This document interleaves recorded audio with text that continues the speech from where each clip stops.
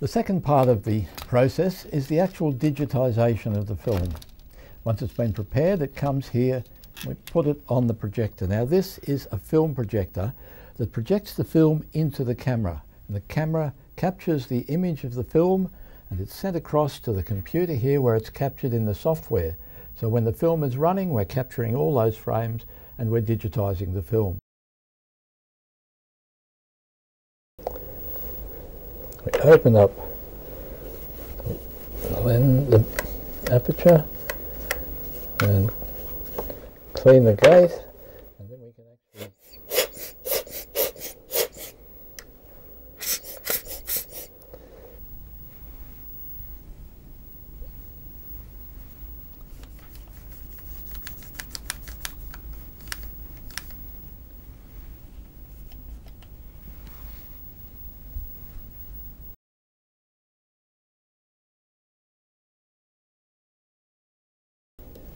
have a long enough feed to lace it through. So we put it through the brushes first, then around the top roller and close the little marker. We open the gate, take the film down and set it so that the top part is around the black edge of that and the film is sitting on the sprockets.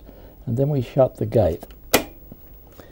Then we can open the bottom sprocket path, pathway and put the film onto the bottom sprockets so that it's above the black line on the top of the black line below the gate. Then we can wind it around the sound drum. We need to pull down both the sprocket um, lock and the lock on the um, the other little roller there. His name escapes me at the moment. Now we put that through, we've got it hooked over the sprocket. We can release this, which creates tension around the, the roller. And we can feed it back up through here and onto our take-up reel. And then we have the whole thing going. The key now is just to check the wind.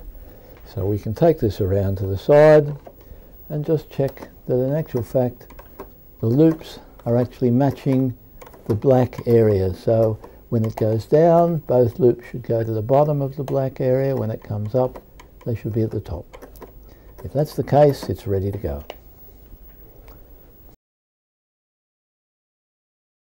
First thing we've got to do is check that the frequency is at 50.05 and that's correct. If it's not, you've got adjustment here to take it to 50.05 and that it's actually on forward.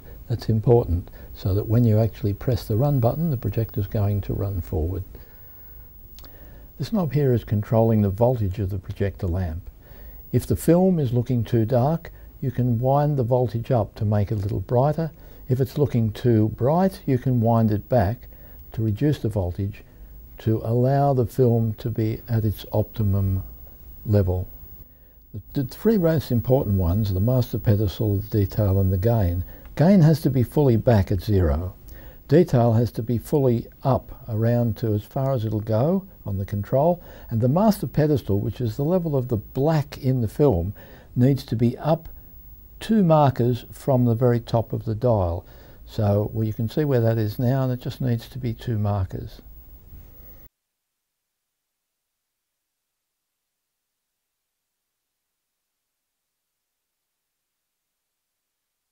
You need to refer to your sheet to see whether the sound is optical or magnetic and wherever you see optical sound you need to make sure that's pressed down when that piece of film is running through and if you see the magnetic film is the next thing coming up we need to press that button and change the selection.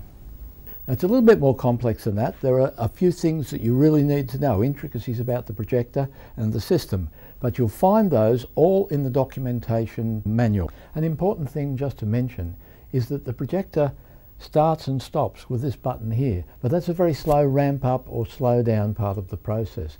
If there's a need for an emergency stop, in other words, if the film is suddenly causing a problem and you need to stop the projector instantly to protect the film, there's a kill switch here.